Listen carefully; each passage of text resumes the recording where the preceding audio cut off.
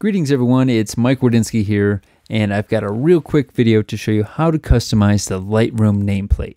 But before we do that, don't forget to check out naturemike.com for some great articles, in-field workshops, and private post-processing lessons. Okay, let's get started. Changing the nameplate is one of the easiest things you can do in Lightroom. We're just going to go up to the Lightroom Classic icon here, and we're going to go to Identity Plate Setup. And by default, we're set to Lightroom Classic. I could change it to my Adobe ID, or I can come down here to Personalize.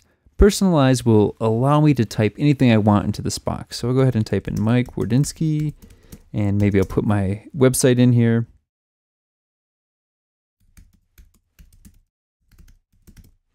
Okay, so there it is. You can see it showed up right here, but it's looking a little small. So I'm to go ahead and select all of this and I'll increase the size maybe to 18. We could probably even go up to 24.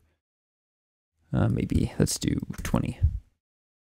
And I can come in here and I can change the font to anything that's already installed on my system. I'm just gonna come up here to absolute. Actually, that's not the one I wanted. Let's do adequate. There we go. That looks a lot better. And it's set to extra light. I don't have any settings in this font, so I will have to keep it there. And now looking over on the right hand side, I could also change the font of my settings up top. And even more importantly, I can change the color. So if I want to know which one of these is selected, I can come down to this first icon here. And we'll go ahead and click our color wheel. And maybe I want my selected module to be blue. And I could also change the unselected colors as well just by clicking here and I could change that to any color I want. And you can see it changes in real time. I'm just going to leave that set to white.